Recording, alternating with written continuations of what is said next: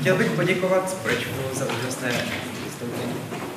A e, nyní bych chtěl pozvat na pódium naše solisty. E, první přijde Eliška Šetivcová s e, písní e,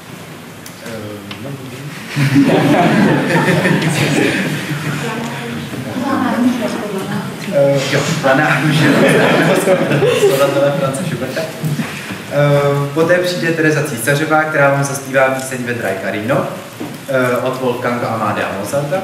A následovat bude Krištof Kohop, který tentokrát tam bude hrát na hosle, ale předvede nám jeho soutěžní pásmu písní a zaspívá písně uh, Vozil som sa vozil od Bouslava Markinu, Zdálo se měl Pápanenko od Jana Masaryka, lidovou píseň Vrksa děťa a Torkáto taso od Luboše Stuky. Přeji příjemný poslech.